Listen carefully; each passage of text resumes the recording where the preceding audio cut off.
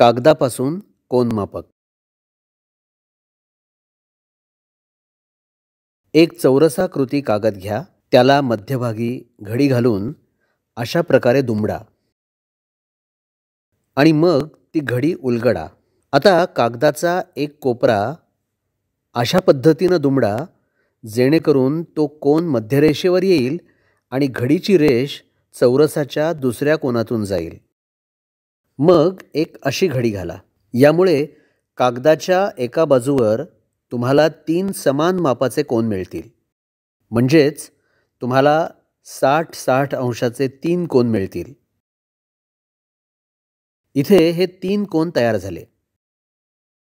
आता हे तिन्ही कोन पुन्हा घडी घालून बंद करून घ्या. आता तयार झालेल्या आकारात हा कोन साठ अंशाचा आहे. दुसरा कोन म्हणजे चौरसाचा कोपरा आहे त्यामुळे तो नव्वद अंशाचा आहे. तिसरा कोन बरोबर तीस अंशाचा असेल कारण त्रिकोणाच्या तिन्ही कोनांची बेरीज एकशे ऐंशी असते. तीस अंशाच्या कोनाच्या मागचा कोन तीस अंशाचाच असणार त्यामुळे हा मोठा कोन साठ अंशाचा झाला. आणि राहिलेल्या कोनाचं माप असेल तीस अंश. हा तीस अंशाचा कोन अर्ध्यात दुमडा यामुळे पंधरा अंशाचा छोटा कोन तयार होईल.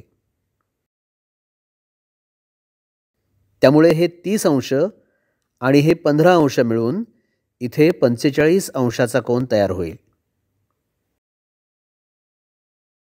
आता इथं हा कोन साठ अंशाचा आहे. त्यामुळे तिसरा कोन पंच्याहत्तर अंशाचा होईल. कारण पंच्याहत्तर अधिक पंचेचाळीस बरोबर एकशे वीस. आणि एकशे वीस अधिक साठ बरोबर एकशे ऐंशी. आता पंच्याहत्तर अंशाचा कोन पूर्णपणे उलगडला तर हा संपूर्ण कोन पंच्याहत्तर अधिक पंच्याहत्तर म्हणजे एकशे पन्नास अंशाचा होईल.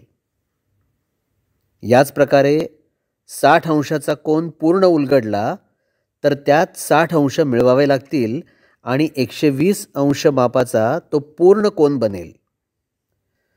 अशा प्रकारे चौरसाकृती कागदाच्या मदतीनं तुम्ही बारा कोन असलेला कोनमापक सहज बनवू शकता.